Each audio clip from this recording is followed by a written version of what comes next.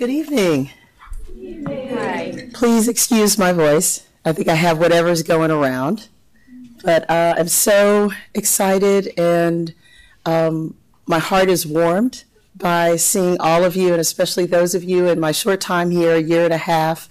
Um, I have made some tremendous connections with folks from here in Virginia, and I just want to acknowledge Horace Scruggs and Naya Bates and so many others, and of course my faculty and colleagues before I go into um, the meaning and the purpose of our event this evening. So I just stand here with a very grateful heart uh, as I kick off the Outsider Preservation Initiative.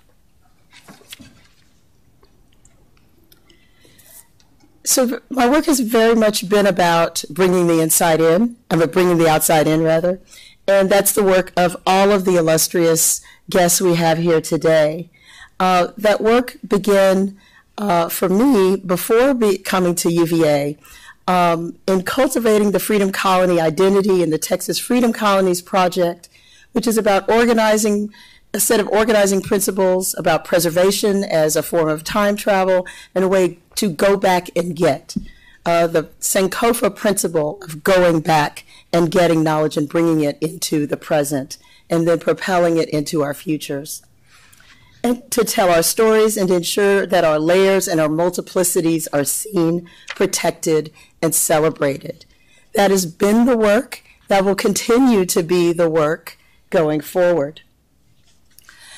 As was mentioned, Mellon has generously funded for three years a $3 million initiative called the Outsider Preservation Initiative, which asks this fundamental question how do commemoration and oral tradition activate the larger diaspora of Freedom Colony, that is, historic black settlement descendants, to document, protect, and regenerate endangered freedom colonies? This is a question I asked 10 years ago when spending my time in East Texas. It's the question that I asked when I went throughout the rest of the state and developed a program for volunteers to capture those stories and to preserve them, and building an online presence for those stories. But now we take this project and extend it to the rest of the United States because these are creation stories. These are stories of beginnings. And these stories of beginnings of black communities are the story of the beginnings of the United States. Speaking of brilliance, I'm going to present to you now Dr. Maya Butler, thought partner, friend, colleague, partner in crime. She comes to us from the University of North Carolina, Wilmington, and she will be co-moderating this evening. But she's going to tell you a little bit more about the dialogue and conversation that we're having here and kind of the, the thought genealogy behind it.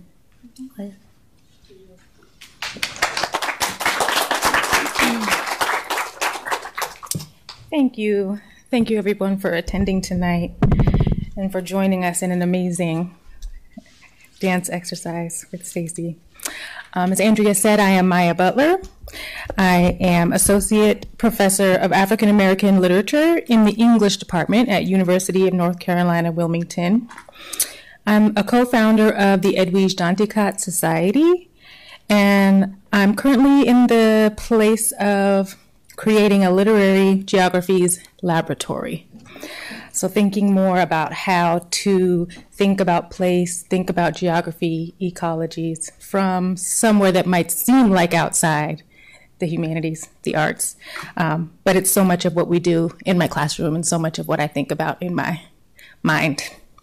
So I'm very glad to be here with all of you tonight. Um, I will introduce our speakers and maybe as you all take the stage. Um, and then they will, uh, I'll foreground sort of what the opening questions are that um, informed the creation of some slides that they have to share with you and telling you a little bit about the work that they do. Uh, so Dr. Christy Hyman is the Andrew W. Mellon Postdoctoral Fellow for Freedom on the Move at Cornell University in the Department of History.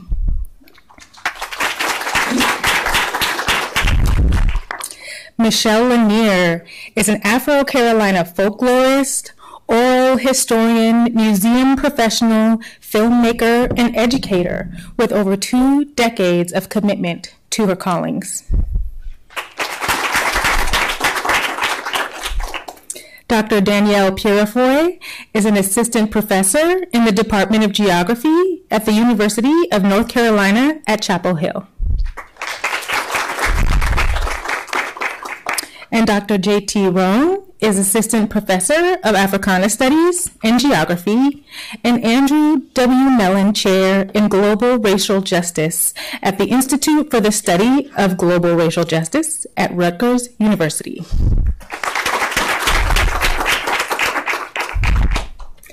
So Andrea and I came together to begin to think about what we wanted to share with you tonight. We based uh, three questions around arts based practice. We wanted to think about how we and how our speakers engage in our own sort of personal interior arts based practices, and also how we bring our arts based practices into the community, into our classrooms. So I will share with you the three questions that we gave to our speakers, and then we will turn it over to them to show you some slides and talk through their arts based practices. The first question really is what is arts based practice? What are our respective comings to art based practices? The second question is how has personal art practice functioned as a sustainability practice for engaged scholars? And the third question is how do we use arts based practice in our teaching and research as a methodology, as approach in our classrooms, and in our engagement with our communities? So I will turn it over to Christy. You have this switch to your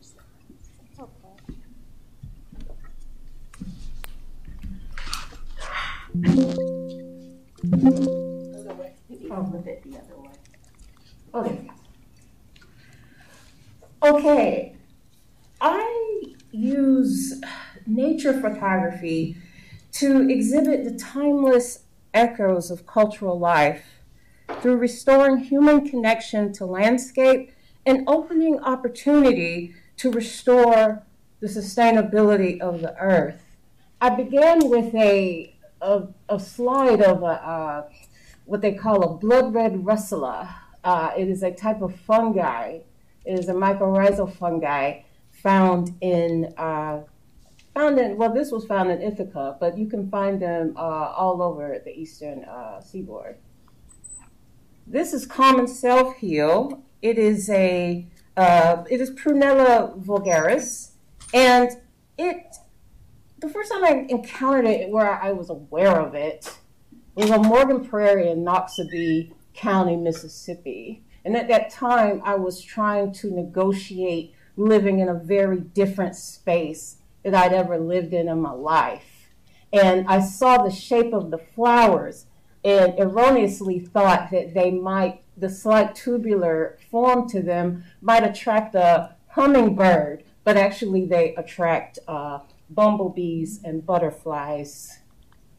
The last one was a puzzling uh, image to me, but this is the occasion of adventitious roots, which mm-hmm. come when something stressful or a wound hits a plant, and what it does is it it shoots out these suckers or, or sprouts or shoots, as you want to call it. This is willow. And it comes from uh, a source other than the main plant that it's growing from. These are its family members, and this is regeneration. And this is an ethos that, uh, that guides a lot of my work. Thank you. Thank you.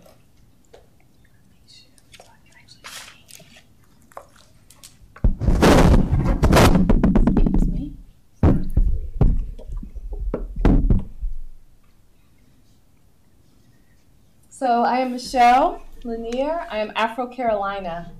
Um, I come from mixed race black people from both Carolinas. And I'm deeply interested in this notion of the womanist cartographies, the womanist um, cosmographies, um, and the contours of memory that I can join with kindred species. So here you literally have this symbology of afro, the okra, the okra when cleft on the horizontal becomes twin boats that represent the slave ships of which my ancestors were seeds that then created whole worlds. Cleft on the uh, vertical, it's a star, um, a, a, guiding light. And then you hear, have the Algonquin word named uh, Scuppernong, which we know is a short season, um, but a sweet season. And here's a landscape that um, I wandered. But um, this is the land that holds um, my heart and my callings. And so part of my creative practice is um, is is watching, is surrendering to witness to these ancestral spaces. Um, then I like to uh, create new kinds of cartography, um, performative cartography, ephemeral cartography. Um, this image in the middle is a frying pan that was found in my maternal grandmother's home that I entered only three for the first time three years after she died because it just felt bereft of spirit within her absence. And I was put um, gifted this pan. You'll notice there's a mark where the thumb goes. So over and over again, cooking for uh, people who I am blood kin with, my grandmother created a mark. It's a map of her soul. Um, I'm also interested in playing with light, um, self portraiture. It's a kind of catharsis, a kind of uh, mapping of desire and possibility and speculative notions of, of self. This is a found image of black folks in the midst of cutting up, having fun, being femme, um, getting funky, and I don't know their names. This picture was uh, for sale on Etsy, and I felt that I could make a home for them. I also love to curate a playlist. I'm in good company. And I like to think along with music um, about cartography and Black South and the Black Femme South and the Black Queer South and um, you know the Black South Sonics and uh, you know here we have Say You'll Go, and Solange says, but where do we go? Um, I believe that she is representing Black South, you know, and Femme South sound waves. Um, if you listen to these lyrics very closely, Where Do We Go? you hear a cartograph around displacement and uh, kind of memory around family and, and home. That's me. Thank you.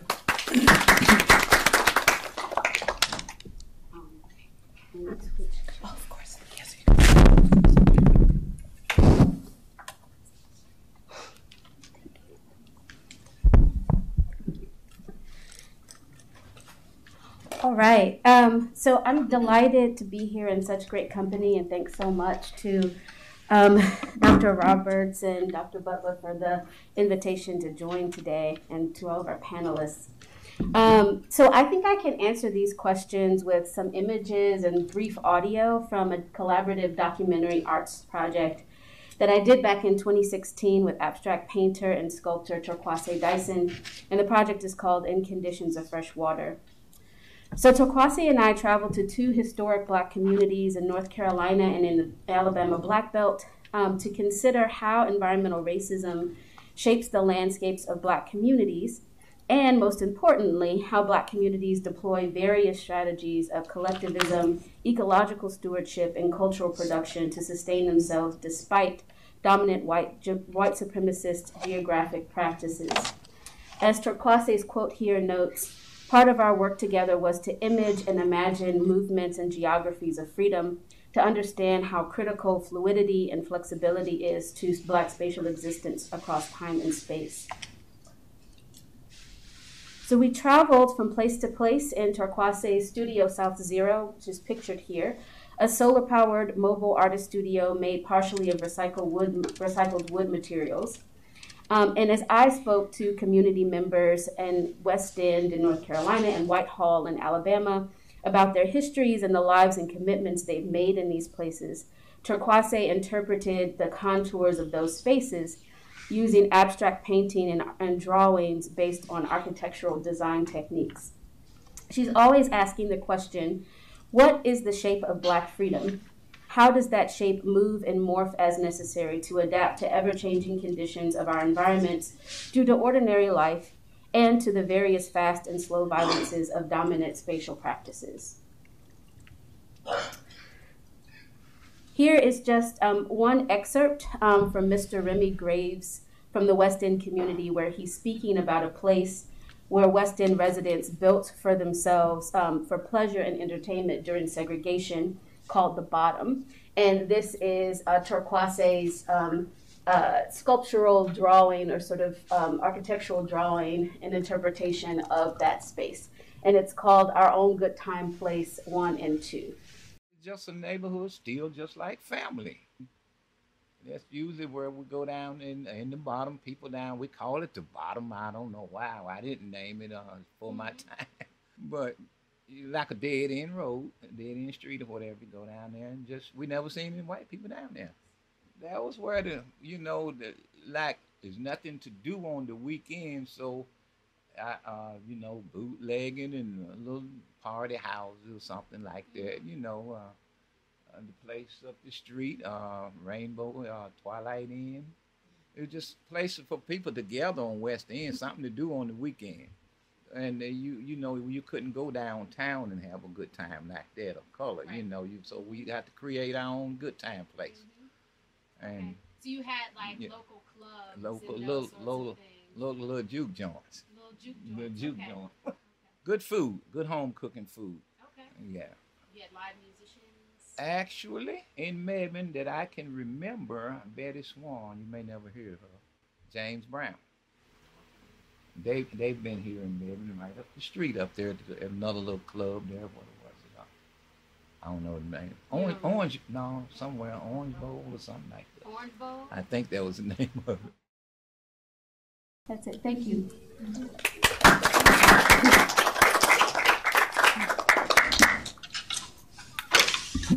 Um, thank you so much, uh, Andrea and Maya. This is and co-panelists.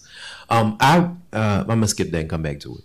Um, my primary um, artistic practice right now is um, is moving in film, um, and I must say that that's primarily coming to me through a series of losses. Um, first, my father, actually, first my home church in 2015 blew away in a tornado in, in February of 2015, and then I lost my father in 2017 and I've just been trying to deal with that and also deal with the kind of realities of serial loss in in this part of the Tidewater, Virginia. And I come to those practices. Um, wonderfully enough, one of my great mentors is in the room, um, Claudrena Harold, Dr. Claudrena Harold, um, in the history department here at the University of Virginia. I'm also a, a former Wahoo. Um, so, um, you know, when I about a couple of years after I graduated, um, Professor Harold, as I still call her, um, and Kevin Everson were just they just started making films, and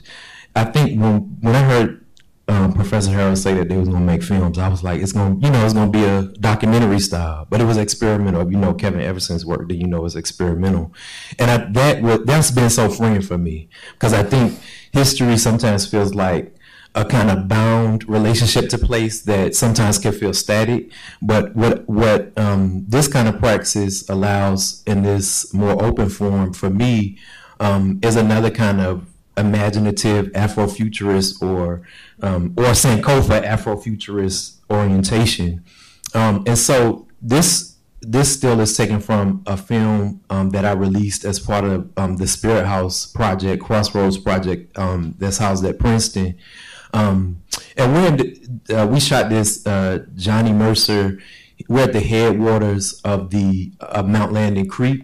Um, this is at an extent plantation that was settled in the 1650s um, and was worked by enslaved laborers up until 1860, right, right at the beginning of the Civil War. Um, period.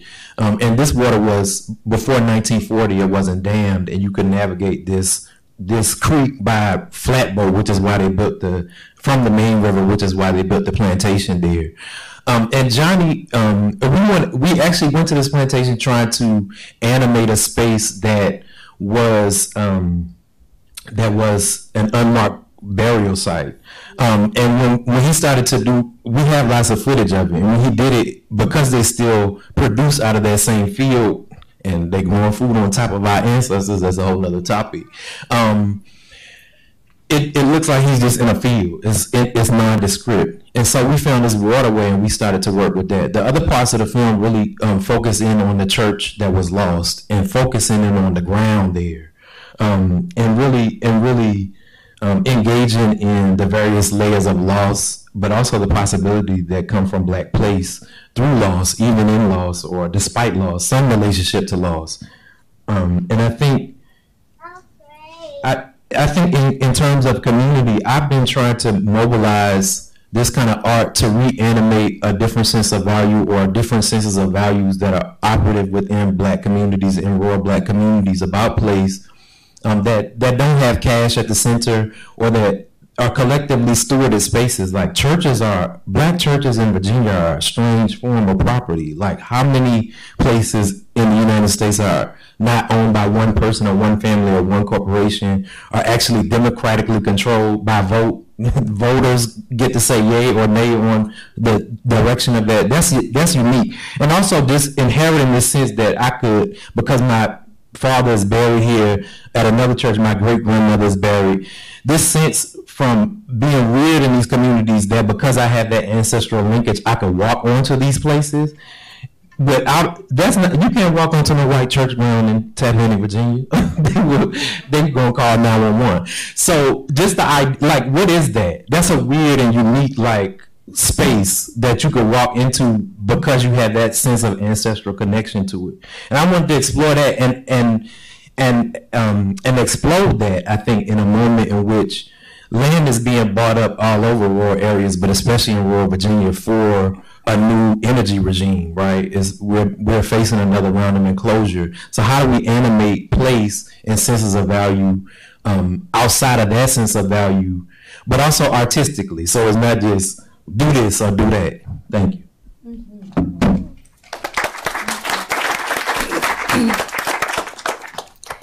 Thank you so much, panelists. I really appreciate the ways that this diverse kind of set of methodologies, of approaches, of frameworks um, really can show the amazing range of ways that folks observe their places, relate to their places, preserve their places in order to share their places. These scholars are sharing with us a black sense and experience of place that might otherwise not be captured by dominant cartographic practices. And this is the very purpose of the Outsider Preservation Initiative. These black places deserve to be experienced, protected, remembered, and sustained. So I would like to invite you all as we move into the next set of questions. Hold your questions in, in your head because we'll leave some time at the end for questions and engagement with the audience.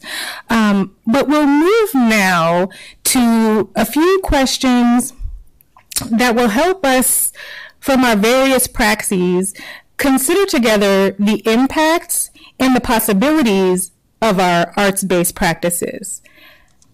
I'll start with one question, maybe start with Danielle, and then I'll give another, and we'll start with Michelle. So the first question is How do we encounter Black landscapes at the intersection of our interior and also our engaged arts based practices?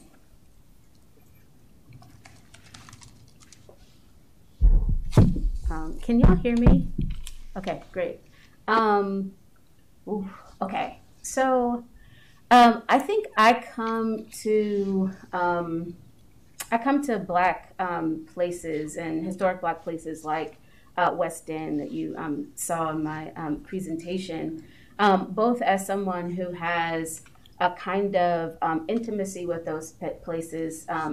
I uh, spent a lot of time in a black place called Soul City, North Carolina, when I was a young person. Um, and so I had a kind of attachment um, to the kind of um, collective community building that happens in black rural places as a kid. And I never imagined that it would be part of my own kind of scholarly practice. Um, I never imagined myself as a geographer either, but um, but that's that's what happened. Um, and so I think um, there's some part of me that's always um, trying to make sure that um, as I connect with these various communities, that I'm arriving or tap into that part of myself that was just a kid in Soul City um, being part of a place and not being in kind of uh, outsider, like objective, you know, 500 foot view, right? Like um, uh, observer of a place. Um, and so um, it's a slow practice, I think. Um, it means that I go and visit places a lot and I try to build relationships in places. I try to, to the extent that, you know, they need volunteers to do things, right? Like I show up in those particular ways. And so there's a, um, a way to kind of um, recultivate that intimacy, even if I don't live in the place. Um, and so I think that that um, informs a different kind of scholarly practice um, and I think the arts in particular are really useful, right, for that kind of practice as well, because um, it's very hard to do art without intimacy. Um, I think it can be done, but I think that it's like, I think it's hard to I don't want to like I don't want to value art in any kind of particular way, but I think that it's hard to do um, well in a way that it's felt without a form of intimacy, and I think that kind of um, bringing the interior in, right, to a place that you may not belong to, right, um, and using art as a mode of doing that is really useful. Um, so, um, and I didn't really learn, um, I think, that kind of practice until I did this um, was brought into or invited into a collaboration um, practice with Torkwase Dyson, and it's been so useful for my work ever since. We can. Not really, but I no, no, no, you good. Um, I really like what you said, Danielle, about about slowness, and I think especially for rural black place, if you pop up and you don't have a certain kind of ethos around taking your time. People may have a superficial kind of greeting and welcome for you, but they are not integrating you into they into their into their worlds, and I think that's critical. And I think I did. I also wanted to show through the film, especially a kind of intimacy with place that I think um, I think we're like the center of this film, which this may not convey because that's the end um, really is at churchyards um, mm-hmm. and center around the mourning practices that we engage in on a regular basis often yearly um, at my grandmother's um, birthday where we you know where we go clean the grave and all of this stuff but we also have a little solo cup i'll just let that be what that means and y'all get it um, and we and we have a good time and i think that opens up so much um, that opens up so much in the film. Is is it's fascinating to hear the the gaps and possibilities of connection diasporically when different communities see it. Northerners have a relationship because they may not have the same kind of churchyard, but they may have gone back and forth and they have a certain kind of relationship with that landscape. Caribbean folks have their own kind of like practices that are related to this and like they see something else. Like it's Caribbean folks who pointed out to me that we were in a circle. They like, y'all who doing? I'm like, okay, got got it. Don't tell my mama and daddy and them. they they're not gonna like that. Um, but I think um, I wanted to also say and just name um, the importance of cultural organizing to my um, to my outlook. I think I had came out of University of Virginia, went to the Center for Third World Organizing. At that time, Wendy Marshall was here. She had kind of shepherded me into that process. And I came to organizing in that practice that was very numbers oriented. How many people did you talk to today? How many doors did you knock on? And I think that Um, I, w- I had the opportunity to go to the Highlander Center at a certain point with Ebony Golden and um, Tafar Walla Muhammad and others who um, who took up cultural organizing as a, as a means and a method. And that and cultural organizing is like it doesn't have an endpoint necessarily in mind. It has values and goals and desires, and it does. It, and ultimately, it is slow, right? Change. But but I think when we think climate, for example, that's really where my sort of interest and thought lies. At, because you can see the water here, we're projected to be in an uninhabitable place. Um, so sometimes that urgency will provoke us to want to do something right here, right now. And yet, that right here, right now is like that perpetual thing is part of the problem, like that speed. Um, and so I think returning to and also i just think i wanted to show through this practice beauty to ourselves back to ourselves. Something that's genuine and organic to our community that will not be foreign but that's also engaged with somebody like johnny mercer who can create beauty in place that i would never be able to do. Somebody asked me one time is that you dancing? I'm like nah don't try to play me. Not me at all. Um, so yeah i think slowness and I, I, um, and moving at that kind of pacing and cultivating intimacy, all things I want to underscore as part of what Danielle has said, but also my own practice. Thank you.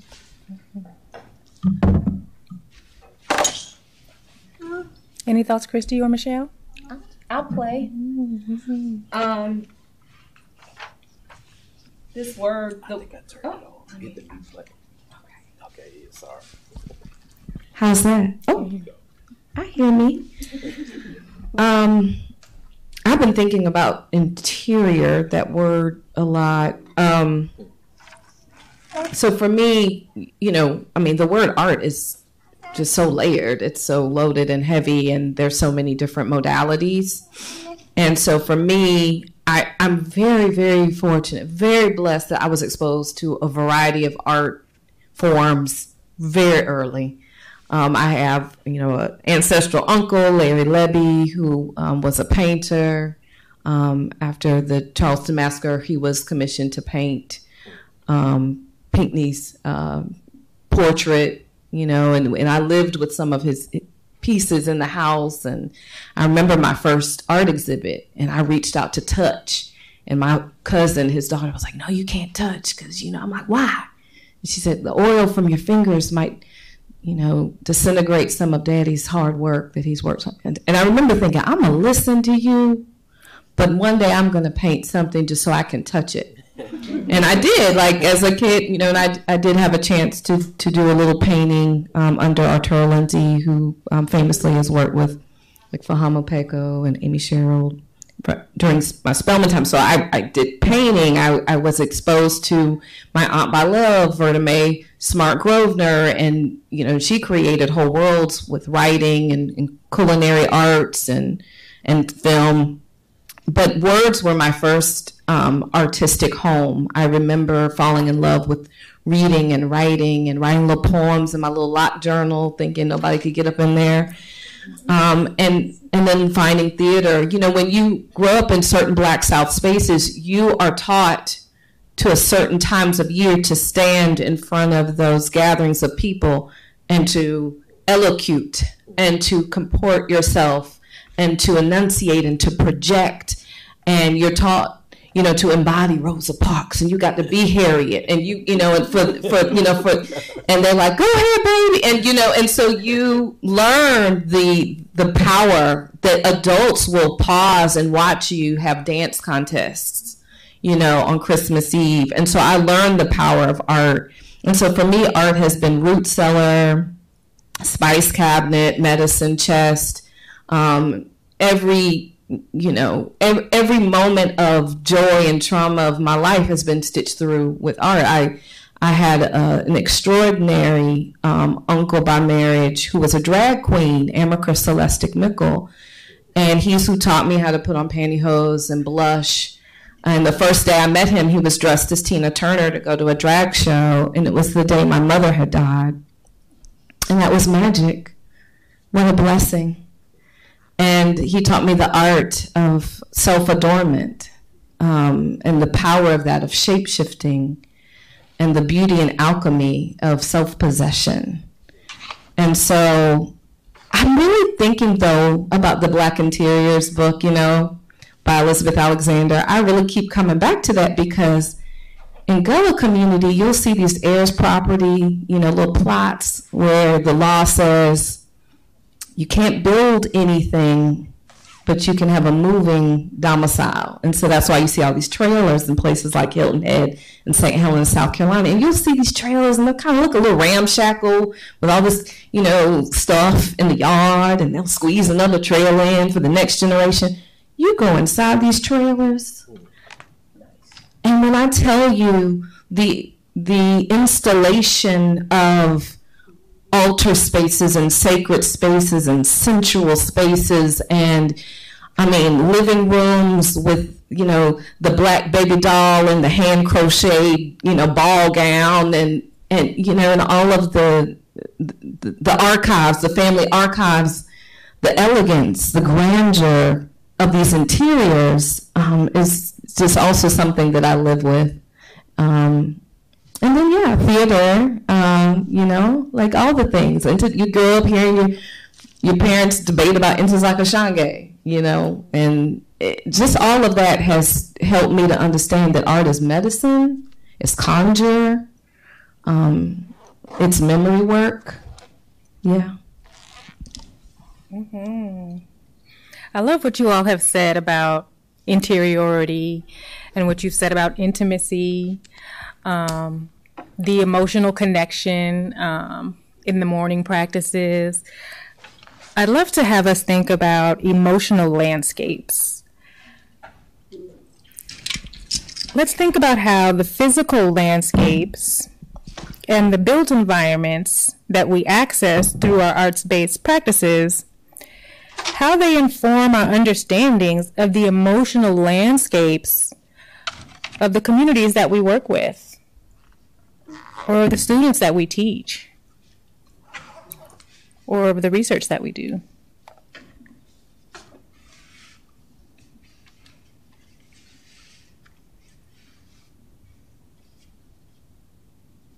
How do our physical landscapes and built environments that we access teach us something about the emotional landscapes they're related to.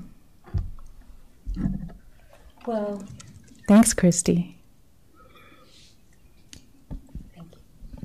Well, I had the opportunity to go to the Edmund Pettus Bridge for the first time in the year 2022 during the ASALH uh, conference in Montgomery, Alabama.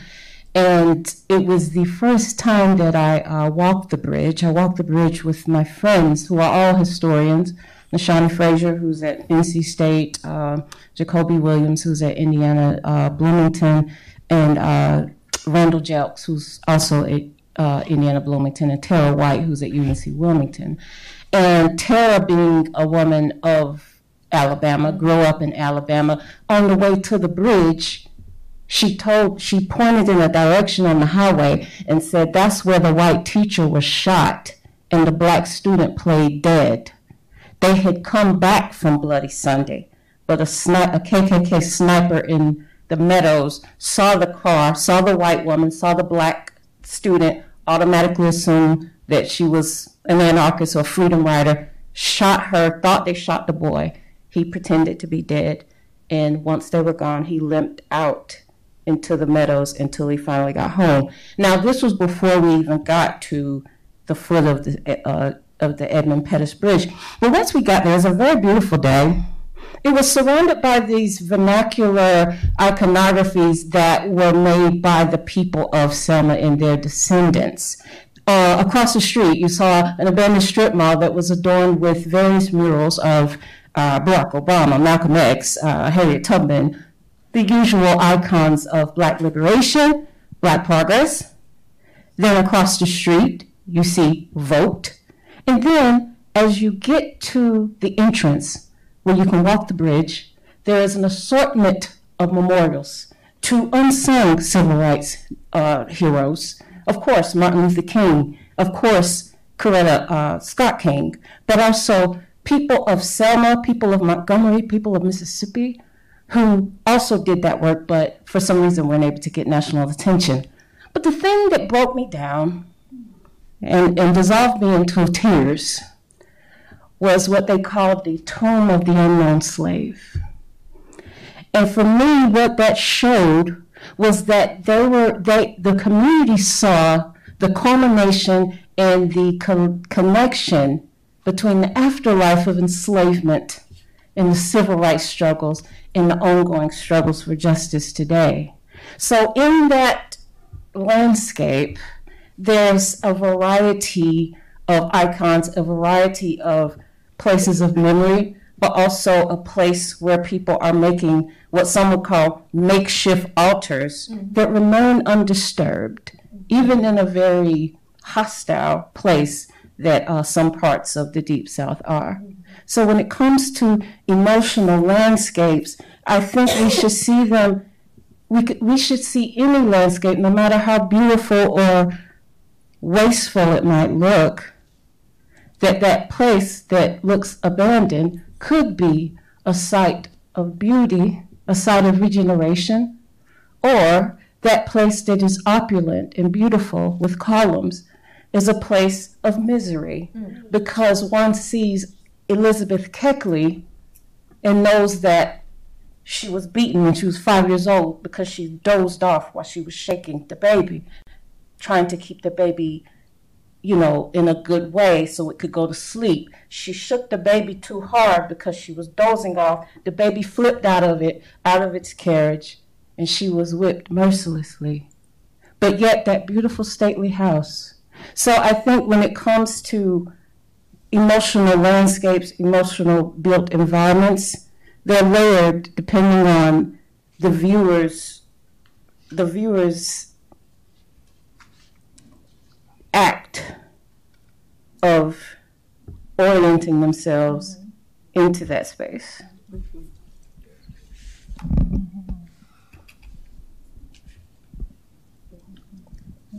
Thank you. Um, I'll just say the first thing that came to mind, Maya, was um, uh, the town of Princeville, uh, North Carolina, which is um, one of it's in eastern North Carolina, and it is one of the first uh, Black municipalities. Um, incorporated municipalities in the United States. It was incorporated in 1885, um, but the community has been there since emancipation. Um, so if you ever heard anything about Princeville, one of the things that the, if like literally if you googled it right now the first thing that you would see is maybe an image of the sign the historical marker for princeville for which was previously called freedom hill underwater.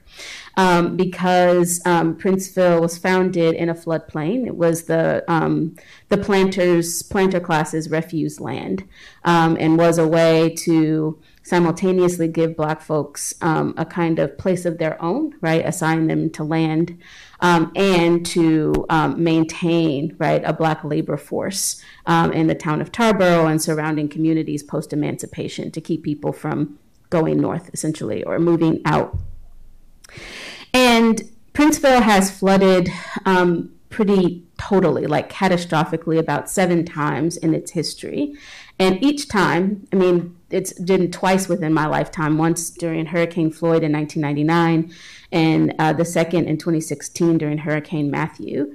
Um, and this is all waters from the, the Tar River, which divides Princeville from Tarboro, um, which is the historic, I call it the sort of plantation town. Um, and I think one of the things that um, yeah, that emotional geographies uh, brings up for me is the kind of simultaneity of like the commitment of folks to a place like Princeville, even though they know that they live in a kind of liminal and temporary space, right? They rebuild over and over again, right? Um, and this is within like, you know, some people's uh, I think the, the the previous flood to the one in '99 was in '65. So you can imagine that in one person's lifetime, they may have had to move back to that same place and rebuild from from start, right from scratch, three times. Um, and I think about like simultaneously like what kind of grief, right, a place like Princeville could hold um, for those communities, and also the like really intense commitment, right, and passion. Um, uh, they have for the place that they would rebuild so many times. Um, and it kind of reminds me also of like, you know, all of these sort of bottomlands, like what um, Mr. Remy Graves was talking about, um, these sort of bottomland areas that are swamps. I don't know how many of you saw the remake of The Color Purple, right, over the holidays. Um, but um, you know that, right, like um, Harpo builds a juke joint, right, on the swamp right? And that is very much what he's talking about in the clip. He's talking about the Orange Bowl, the Twilight Inn, those kind of spaces that are um, spaces of pleasure and play and recreation, right, and freedom, and also are very vulnerable, right, um, to the floodwaters. So I really think about like that kind of um, the duality, right, or the multifacetedness of like a place that people think of as wasteland, right? That dominant spatial geographies, right? Um, hegemonic white geographic practice would say this is a, you know, they might say that it's a vulnerable ecological area that we shouldn't touch now, right? Um, at this point, right? Maybe previously they might have said, oh, this is a wasteland. It's it's not worth anything to us because we can't do anything with it.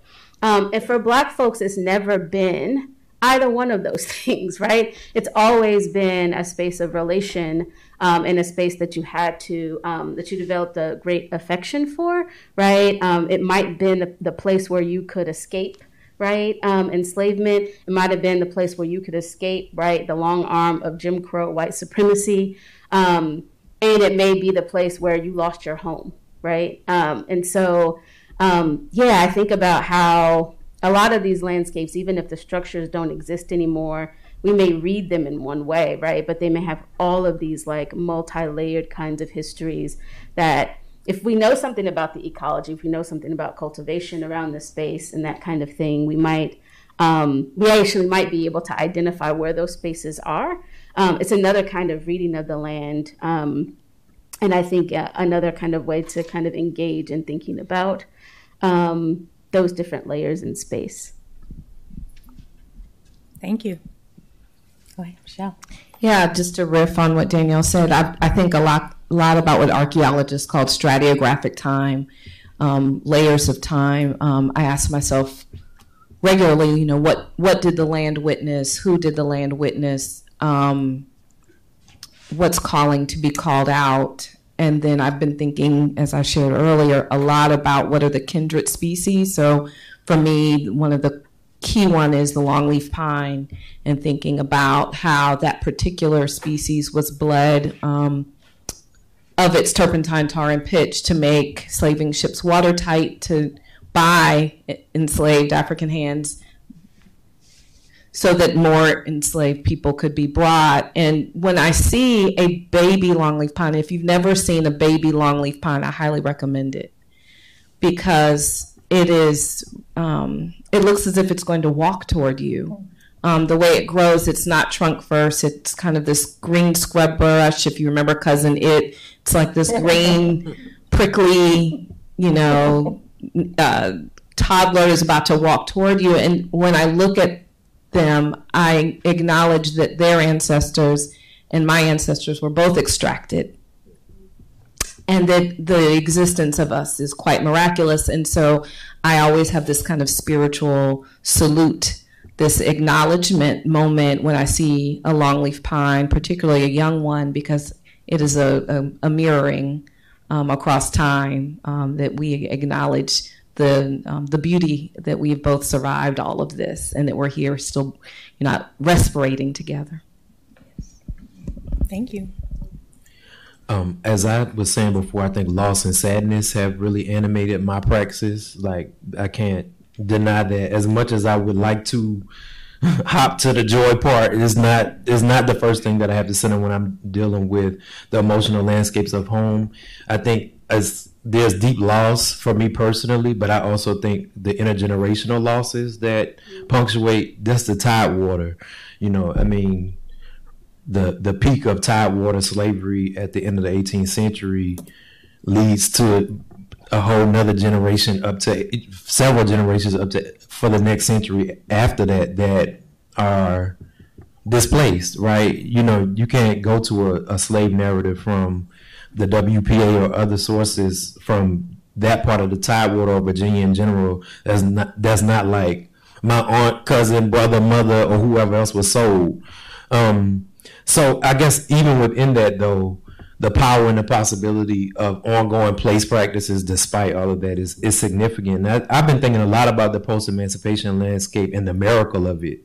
Um, like, first of all, people built churches in a year or two years after emancipation. I'm like, where did they get money, land, or anything? I mean, some of we know some of it was like, you know, benefactors and other things, but just as a whole impulse, like where do you even before you own personal familial land, you already purchasing something together. That's that's a lot.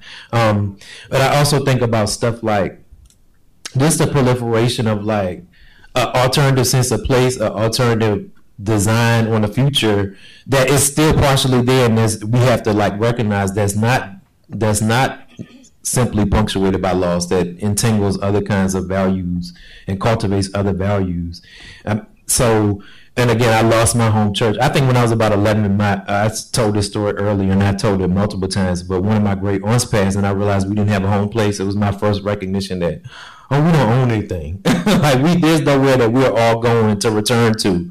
And so I latched onto this church building and then that blew away. And so I've been I've been pressed into really out of necessity thinking about the ground itself as as the thing, as the place. Um, and especially because again my my elders and ancestors are buried in that space, particularly at St. John's, but in, all around. Um, invest in that place with with that sense of pride as well that comes even with and maybe entangled with the sadness is is that sense of that that pride and that cultivation and i think um i think there's so much i mean for a rural black place we were talking about this in the in the van over here there's so much more to do around not just having the kind of and the, I'm not trying to say that the historiographies and other thing, things aren't important about the narratives that we know about slavery and emancipation and and then a brief moment of freedom and then Jim Crow and then now and blah blah blah. I'm not saying that all of those those markers are important uh, aren't important, but I think I think about stuff like black rural nightlife, like things that we don't necessarily think about that do animate all these senses of, of value, possibility, power, and again, uh, still are they're very close in time and in day-to-day experience with loss and sadness. That's never is never isolatable or separable from those.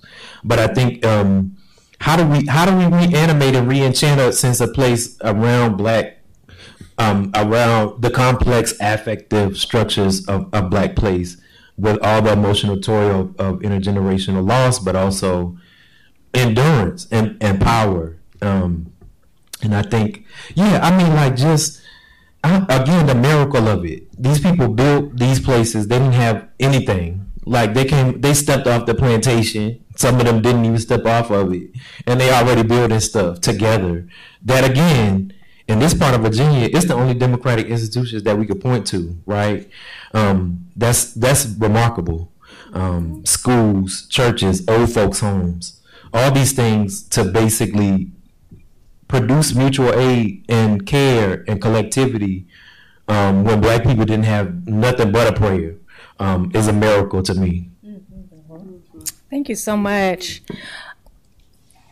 When I think of you discussing the miracle of black work to make place and to make a life, I think about um, you know, thinking from from my literary sphere, Phillis Wheatley, um, you know, the first black woman to publish a book of poetry in the U.S. And I think about our mutually beloved June Jordan uh, in her piece, something like a sonnet for Phillis Wheatley, and she calls her Phillis Miracle Wheatley, the miracle that was producing the work that she did in the conditions that she was in.